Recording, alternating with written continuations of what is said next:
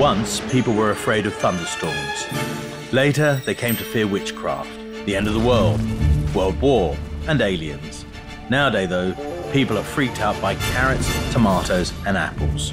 The term GMO, or genetically modified organisms, cover more than just vegetables and fruit. Scientists, medical researchers, and biotechnologists have been modifying the genes of bacteria, animals, and even humans for a long time now. But the debate on GMO almost always centers around what we eat. Is this really the high road to a future without famine? Or does GMO have a flip side? This is to be debated.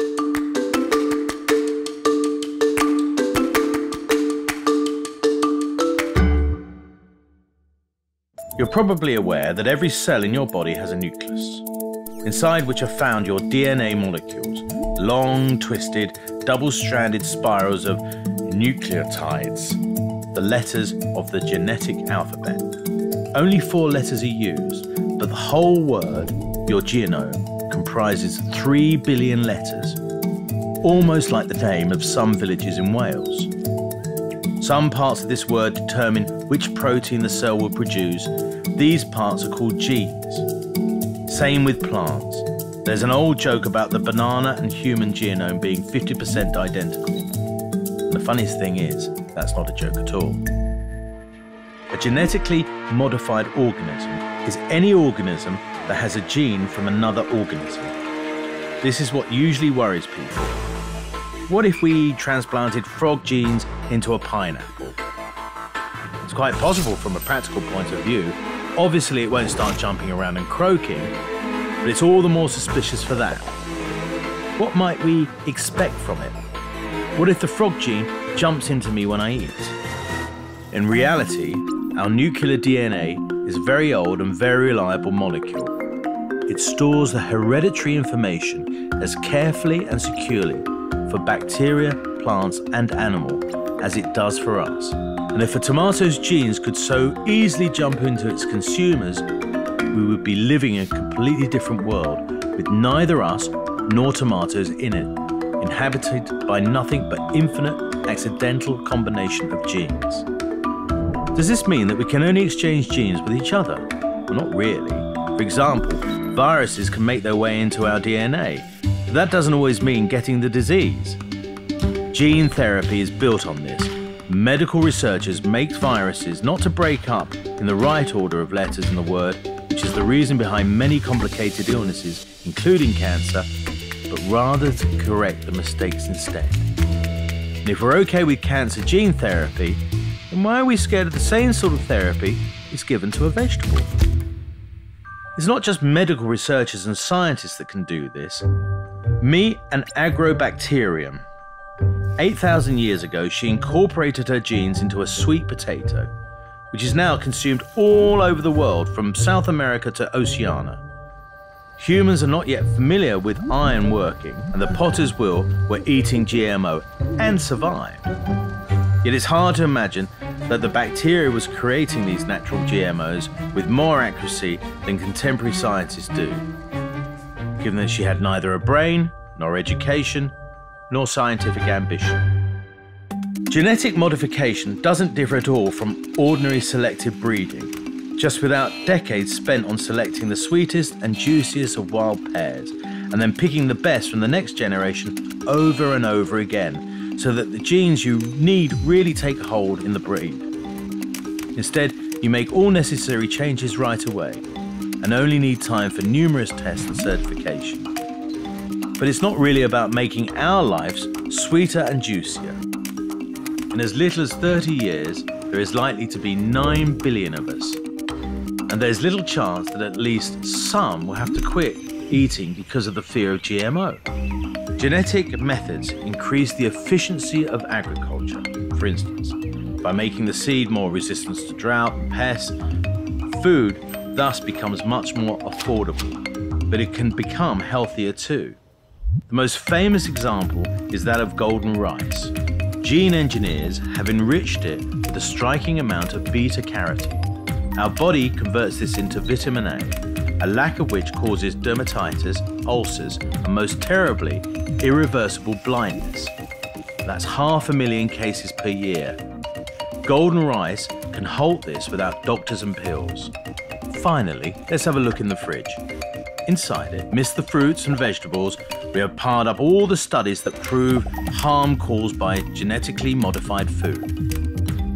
But let's be honest, there is none.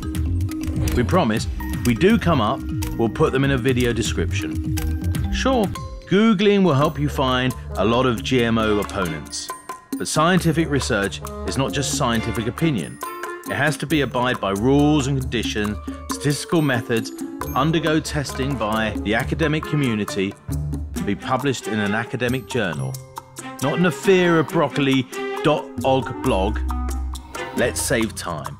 Most well-known research on the risk of GM food has been scientifically debunked, which is also easy to Google. Yes, they're still being read and quoted, but spreading fake stories is also easier than making a nerdy inquiry into where and how the author has lied. But is the genetically modified future really so glittering and bright?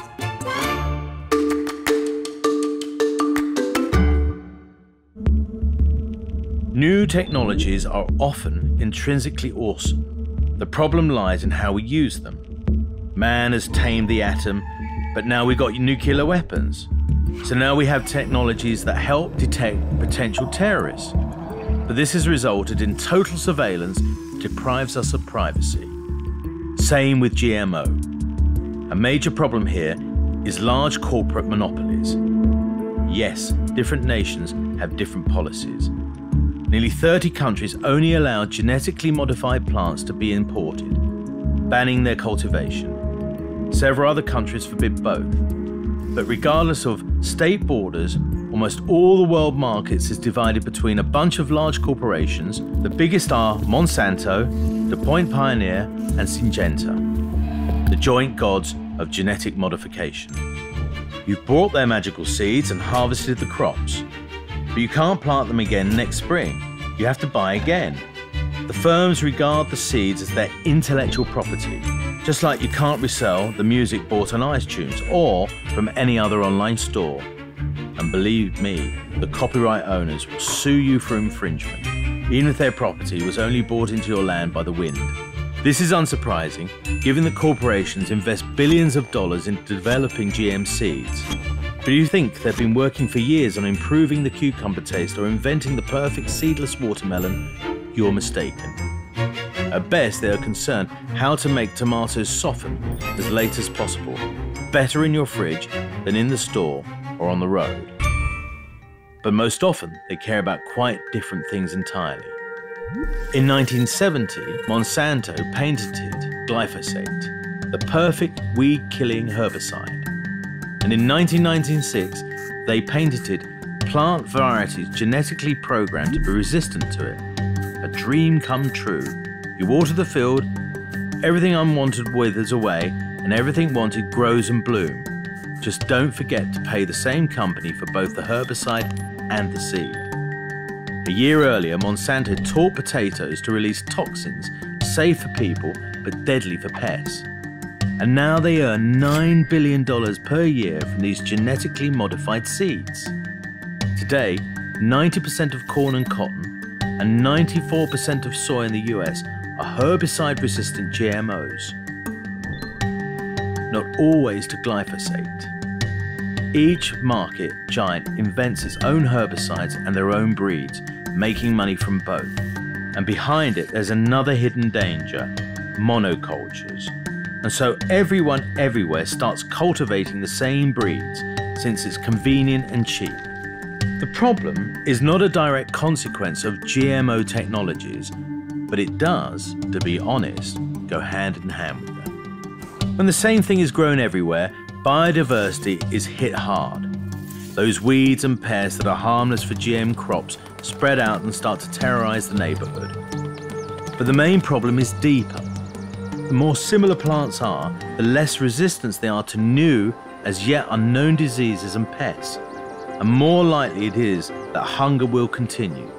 It might seem unimaginable now, but just 1.5 centuries ago, before any kind of GMO, the Phylloxera, a small insect from North America, killed off two thirds of European vineyards. In 2009, a cotton moth was found in India which was immune to these plant toxins. Luckily, it was detected in time and the next generations of seeds were reprogrammed. Sure, reprogramming the seed still sounds like rocket science, although we've discovered that genetic modification merely involves changing the order of the nucleotides in the genome. It's not enough to get the New World Order in the lab or to see it in your dreams. Even for the industry giant to take years to bring a new strain into the market. But they can afford it and we can't. And as long as this is the case, their business is not under threat. It turns out that both vocal GMO opponents and those who consider them nut jobs are equally mistaken in their own way.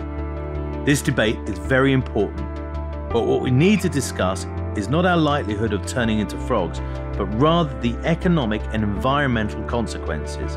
Indeed, healthy monopolism is a phenomenon as rare as caviar flavoured, genetically modified aubergines. What's next to be debated? Subscribe to the channel and never miss our new videos. And you can support us on Patreon, it's so much appreciated.